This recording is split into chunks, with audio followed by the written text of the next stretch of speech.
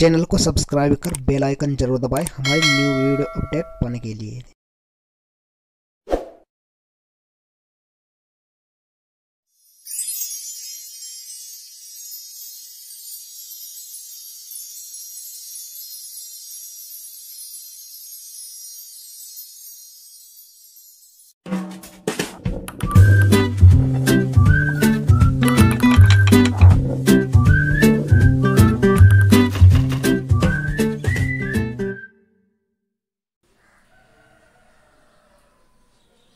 Students यदि आप भी B A B S C या बी कॉम फ़र्स्ट ईयर के स्टूडेंट हैं तो आपके लिए यह वीडियो बहुत ही इंपॉर्टेंट होने वाली है। तो मैं आपके लिए स्पोर्ट तथा फ़िज़िकल एजुकेशन से सो ऐसे से इम्पोर्टेंट क्वेश्चन लेकर आया हूँ, जो कि हर साल एग्ज़ाम में पूछे जाते हैं। और इस साल भी इन प्रश्नों को आने की पूरी उम्मीद है। तो वीडियो को बिना स्किप किए एंड तक ज़रूर देखिए। यदि आपने पूरे वर्ष कुछ नहीं पढ़ा है, आप केवल इन प्रश्नों को ध्यान से पढ़ लीजिए। और वीडियो को एंड तक देख लीजिए तो आपके एग्ज़ाम में 80 या 90 प्लस आने तय है। तो आइए टाइम वेस्ट ना करते हुए वीडियो को शुरू करते हैं। तो यहाँ पर देखिए, पहला प्रश्न दिया गया है आईएसआई प्रमाणन चिन्ह इस वर्ष से लागू किया गया। तो इन चारों ऑप्शन में से इसका उत्तर कोई नहीं है। इसका उत्तर मैंने लिख रखा है यहाँ पर। इसका उत्तर है 1955 तो आपका राइट आंसर 1955 होगा, क्योंकि आईएसआई प्रमाणन चिन्ह 1955 में लागू किया गया था। तो आइए दूसरा प्रश्न देखते हैं। बाल्यावस्था की अवधि होती है तो इसमें हम देखते हैं, तीन से बारह वर्ष ए में दिया गया है बी दो से छः वर्ष बीस से पच्चीस। तो हमारा राइट आंसर क्या है? हमारा राइट आंसर होगा ए तीन से बारह वर्ष। नेक्स्ट क्वेश्चन में पूछा गया है स्वस्थ मनुष्य के हृदय की धड़कन, सामान्य धड़कन प्रति मिनट होती है। तो इसमें राइट होगा बहत्तर। चलिए अगला क्वेश्चन देखते हैं। अनुवांशिकता का संबंध निम्न में से है। तो इसका आपका राइट आंसर होगा उपयुक्त सभी। इसमें उपयुक्त सभी होगा। तो नेक्स्ट क्वेश्चन देखते हैं। स्वस्थ व्यक्ति का सामान्य रक्तचाप होता है। तो इसमें आपका राइट आंसर होगा 80 से 120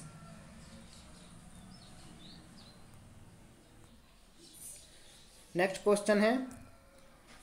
भारतीय रेड क्रॉस सोसाइटी की स्थापना इस वर्ष हुई थी। तो भारतीय रेड क्रॉस सोसाइटी की स्थापना 1920 में हुई थी। नेक्स्ट क्वेश्चन है। मनोविज्ञान की शाखाएँ कितनी हैं? मनोविज्ञान जो है, इसकी शाखाएँ दस होती है। हिरेडिटी जीनियस पुस्तक के लेखक कौन हैं? तो हिरेडिटी जीनियस पुस्तक के लेखक जो हैं, वो गाल्टन है। तो हमारा गाल्टन बी सही उत्तर होगा। वायु प्रदूषण अधिनियम इस वर्ष बनाया गया था। तो वायु प्रदूषण अधिनियम जो है वो 1981 में बनाया गया था। तो हमारा सी ऑप्शन सही होगा। तो नेक्स्ट क्वेश्चन की ओर बढ़ते हैं। मनुष्य में क्रोमोसोम्स की संख्या कितनी होती है? तो मनुष्य में तेईस जोड़े क्रोमोसोम्स की संख्या होती है। बी आंसर हमारा सही आंसर है। नेक्स्ट क्वेश्चन है। ओलंपिक किसकी प्रतियोगिता है? तो तो आपको पता ही होगा कि खेल प्रतियोगिता होती है एक। क्रिकेट को ओलंपिक खेलों में कब शामिल किया गया था? तो क्रिकेट को ओलंपिक में 1900 ईस्वी में शामिल किया गया था। भारत ने ओलंपिक हॉकी में कुल कितने पदक प्राप्त किए हैं? तो भारत ने कुल पदक 11 प्राप्त किए हैं हॉकी में। तो नेक्स्ट क्वेश्चन देखते हैं, क्या है?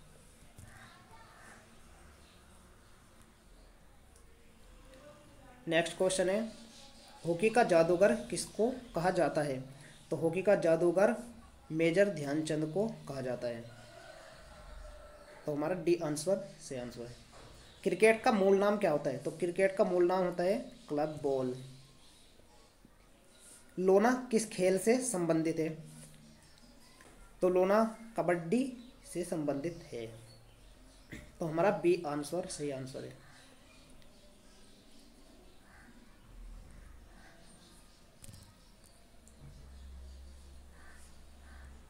तो बढ़ते हैं नेक्स्ट क्वेश्चन की ओर। तो हमारा सेवनटीन जो क्वेश्चन है, मानक ट्रैक में एक लेन की चौड़ाई होती है। तो इसका आंसर होगा सी एक पॉइंट दो दो मीटर। अगला क्वेश्चन है, साक्षी मलिक किस खेल से संबंधित है? तो जो साक्षी मलिक है, वो कुश्ती से संबंधित है। लिब्रो किस खेल से संबंधित है? तो लिब्रो जो होता है, वो वॉलीबॉल से संबंधित है। मानव शरीर की सबसे लंबी हड्डी है। तो इसका बी ऑप्शन सही आंसर होगा। फीमर बोन सबसे लंबी हड्डी है। शिक्षा का उद्देश्य निम्न में से नहीं है। तो शिक्षा का जो उद्देश्य होता है, वो उत्तीर्ण होना। ये आंसर होगा। हमारा बालक का प्रथम शिक्षक है तो बालक का प्रथम शिक्षक उसकी माता होती है। शिक्षा द्वारा विकास होता है। तो इसमें डी आंसर होगा हमारा। तो उपयुक्त सभी का, क्योंकि व्यक्तित्व तो राष्ट्र और सामाजिक तीनों का विकास होता है इसमें।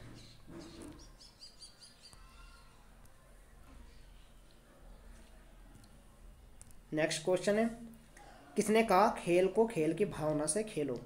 तो ये जो कहा था, ये महात्मा गांधी ने कहा था। तो इसका आंसर हमारा, डी आंसर होगा, महात्मा गांधी। भारत में खेल एवं युवा कल्याण विभाग की स्थापना कब हुई? तो इसका आंसर ए होगा, उन्नीस सौ अट्ठावन में हुई। महत्वपूर्ण पुस्तक हिस्ट्री ऑफ़ फ़िज़िकल एजुकेशन के लेखक कौन है? तो इसका आंसर होगा, इराज अहमद खान। इराज अहमद खान। पीटी का पूर्ण रूप है। तो पीटी का पूर्ण रूप जो होता है, वो होता है फ़िज़िकल ट्रेनिंग तो हमारा बी आंसर होगा। चलिए नेक्स्ट क्वेश्चन देखते हैं। खेलने के लिए आवश्यक है। खेल किट, मैदान, मस्तिष्क, ये तीनों आवश्यक होते हैं तो उपयुक्त सभी आंसर होगा। शिक्षा में शारीरिक शिक्षा का महत्व तो किस शताब्दी से माना जाता है? सोलहवीं शताब्दी, अठारहवीं या पंद्रहवीं या बारहवीं? तो इसमें चारों ही गलत आंसर है। इसमें होगा चौदहवीं शताब्दी। तो ये आंसर हमारा सही आंसर होगा। शिक्षा में, शारीरिक शिक्षा का महत्व चौदहवीं शताब्दी से माना जाता है। तो नेक्स्ट क्वेश्चन देखते हैं। किसने कहा, स्वस्थ शरीर में स्वस्थ मस्तिष्क निवास करता है? तो ये कहा था प्लेटो ने। तो हमारा बी प्लेटो सही हुआ। राष्ट्रीय खेल दिवस किस तिथि को मनाया जाता है? तो ये मनाया जाता है पंद्रह अगस्त को। ओलंपिक ध्वज में पाँच छल्ले दर्शाते हैं। संसार के महाद्वीप को दर्शाते हैं। तो सी आंसर होगा। भारत में शारीरिक शिक्षा का जनक किसे कहा जाता है? तो भारत में शारीरिक शिक्षा का जनक, इनमें से कोई भी आंसर नहीं होगा। तो हमारा जो सही आंसर होगा वो होगा। तो इसका एच सी बक सही आंसर है। एच सी बक थे। नेक्स्ट क्वेश्चन है, बॉल आउट किस खेल में प्रयोग होता है? तो बॉल आउट जो है, वो रग्बी में प्रयोग होता है। रग्बी सही आंसर होगा। 2010 के राष्ट्रमंडल खेलों का आयोजन करता कौन सा देश था? तो ये भारत में ही हुए थे। 2010 में भारत में ही राष्ट्रमंडल खेलों का आयोजन हुआ था। पीवी सिंधु ने ओलंपिक खेल 2016 में कौन सा पदक जीता था? तो इसका आंसर होगा रजत पदक। इन्होंने रजत पदक जीता था। किस देश ने सर्वाधिक बार क्रिकेट वर्ल्ड कप जीता? तो इसका आंसर हमारा ऑस्ट्रेलिया होगा। शारीरिक स्वस्थता का विकास इससे किया जा सकता है। तो इसमें उपयुक्त सभी आंसर होगा। भारत ने सर्वप्रथम विश्व कप क्रिकेट जीता था वर्ष। तो भारत ने उन्नीस सौ तिरासी में जीता था। नेक्स्ट क्वेश्चन है, संतुलित आहार की आवश्यकता इसके लिए होती है। तो इसमें फ़र्स्ट ऑप्शन सही होगा ए समुचित वृद्धि एवं विकास। एक मानक ट्रैक की लंबाई होती है, इसमें होगा 400 मीटर। एक मानक ट्रैक की लंबाई 400 मीटर होती है। संतुलित आहार में सम्मिलित होता है। तो संतुलित आहार में ये सभी सम्मिलित होते हैं। तो उपयुक्त सभी आंसर होगा इसका। मिल्खा सिंह किस खेल से संबंधित है? तो मिल्खा सिंह जो है, वे एथलेटिक्स से संबंधित है। तो इसका आंसर होगा एथलेटिक्स। किस क्रिकेट खिलाड़ी ने सर्वाधिक टेस्ट शतक बनाए हैं? तो इसका आंसर होगा सचिन तेंदुलकर। व्यक्तित्व विकास को प्रभावित करने वाले कारक है। इस प्रश्न का उत्तर जो है वो होगा उपयुक्त सभी। डुरंड कप किस खेल से संबंधित है? ये फुटबॉल से संबंधित है। किस सब्जियों में विटामिन ए की मात्रा अधिक पाई जाती है? तो इसका आंसर होगा गाजर। गाजर में सबसे ज़्यादा विटामिन ए पाया जाता है। भारत के लिए ओलंपिक कांस्य पदक जीता है? तो इसमें लिएंडर पेस ने भी जीता है और साइना नेहवाल, कर्णम, मल्लेश्वरी तो इसमें उपयुक्त सभी आएगा। परसोना शब्द का अर्थ है। परसोना शब्द का अर्थ होता है मुखोटा। राष्ट्रमंडल खेलों का प्रारंभ कब और कहाँ हुआ? तो इसका आंसर होगा बी 1930 हैमिल्टन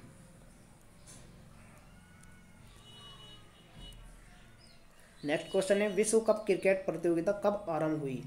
तो विश्व कप क्रिकेट प्रतियोगिता 1975 में आरंभ हुई। 1975 में आरंभ हुई थी। नेक्स्ट क्वेश्चन है हमारा। प्राचीन ओलंपिक खेलों का प्रारंभिक वर्ष है। तो इसका आंसर होगा सात सौ छहत्तर ईस्वी पूर्व। नेक्स्ट क्वेश्चन है, एशियन खेल शुभारंभ करने का श्रेय किस देश को है? तो एशियन खेल शुभारंभ करने का जो श्रेय है वो भारत को ही है। वर्ष 1948 ओलंपिक खेलों का आयोजन स्थल था। इसमें आपका बी सही आंसर है, लंदन। भारत सरकार द्वारा शारीरिक शिक्षा के लिए राष्ट्रीय योजना कब प्रकाशित हुई? तो इसका आंसर है आपका 1956 ये 1956 में आयोजित हुई। किस खेल में केवल छः खिलाड़ी एक तरफ़ से खेलते हैं? तो ये इस आपका आंसर होगा वॉलीबॉल वॉलीबॉल में केवल छः खिलाड़ी ही एक तरफ़ से खेल सकते हैं। नेक्स्ट क्वेश्चन है। भारत का राष्ट्रीय खेल है तो भारत का राष्ट्रीय खेल तो आपको पता ही होगा, हॉकी है। तो नेक्स्ट क्वेश्चन है आपका। ओलंपिक खेलों में भारत ने किस खेल में प्रथम स्वर्ण पदक जीता? तो इसमें डी हॉकी हॉकी में प्रथम स्वर्ण पदक जीता था। दो ओलंपिक खेलों के बीच का कितना अंतराल होता है? तो इसमें आएगा चार वर्ष। कौन सा देश 2020 ओलंपिक खेलों का आयोजन करता है? इसकी नई डेट जो आई है, वह आई है तेईस जुलाई 2021 तो यह आपका तेईस जुलाई 2021 को होने वाला है। तो चलिए नेक्स्ट क्वेश्चन की ओर बढ़ते हैं। नेक्स्ट क्वेश्चन है, अनुवांशिकता के जनक है। तो इसमें आपका जॉन मेंडल आएगा। जॉन मेंडल है। स्कर्वी रोग किसकी कमी से होता है? ये विटामिन सी की कमी से होता है। खेल मनोविज्ञान की आवश्यकता किसको है? इसमें आपका उपयुक्त सभी है। बत्तीसवें ओलंपिक खेलों का स्थान है। तो ये टोक्यो है।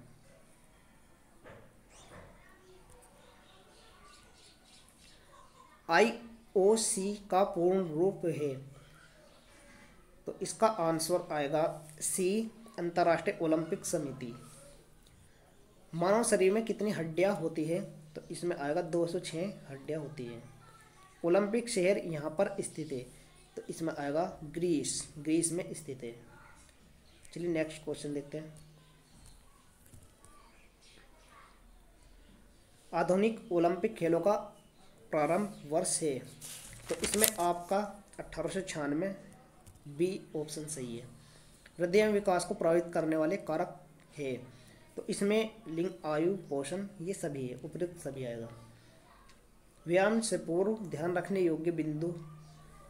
तो इसमें ये सभी उपयुक्त सभी है।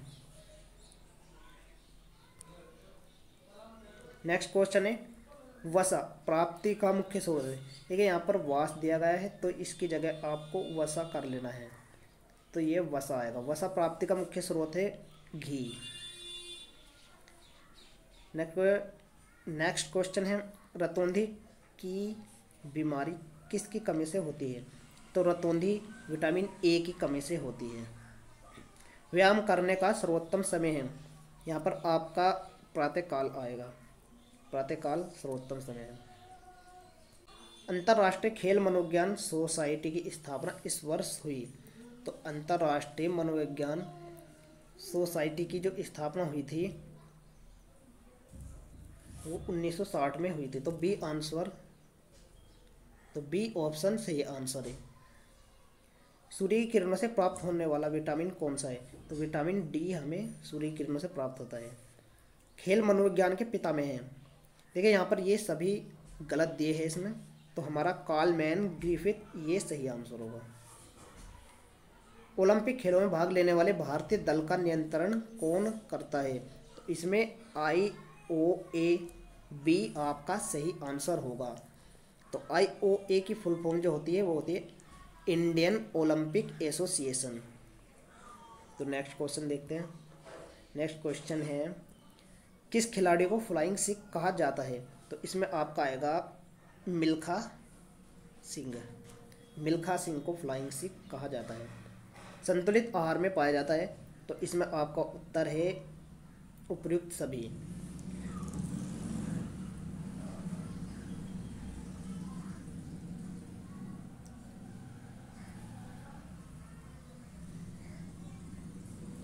नेक्स्ट है, व्यक्तित्व का आयाम है। तो व्यक्तित्व का आयाम जो होता है, वो उपयुक्त सभी आएगा।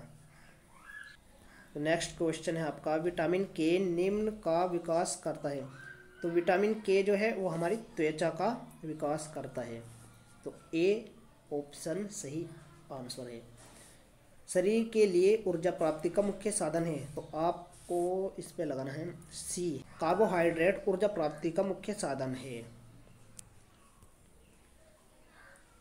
नेक्स्ट क्वेश्चन है ओलंपियाड क्या है?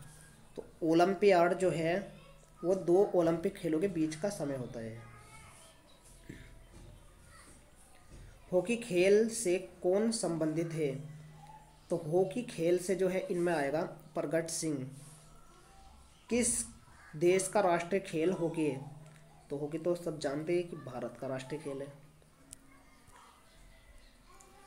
नेक्स्ट क्वेश्चन है, ओलंपिक वाक्य फोर्टियस दर्शाता है।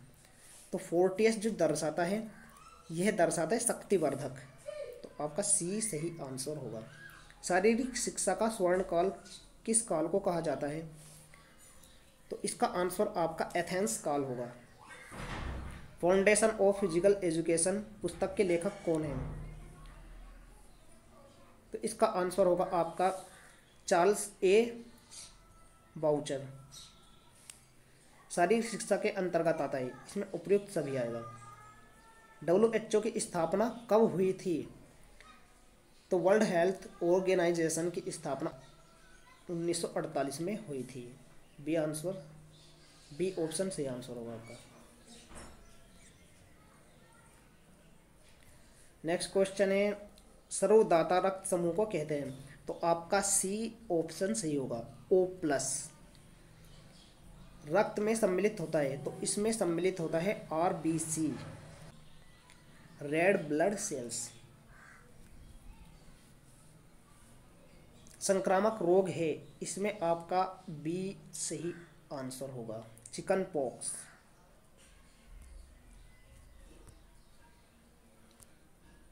नेक्स्ट क्वेश्चन है, एड्स से संबंधित है तो एड्स से संबंधित है एच आई वी पाचन क्षमता को विकसित करता है। तो इसका आएगा विटामिन बी डी सही आंसर है। हड्डियों में किस तत्व की अधिकता होती है? तो हड्डियों में कैल्शियम की अधिकता पाई जाती है। तो आपका अंतिम क्वेश्चन है कि यह भाग श्वसन तंत्र का नहीं है। तो ये सबसे हल्का प्रश्न पूछा गया है। तो इसका आंसर होगा आँखें। तो स्टूडेंट्स आपको ये मेरी वीडियो कैसी लगी?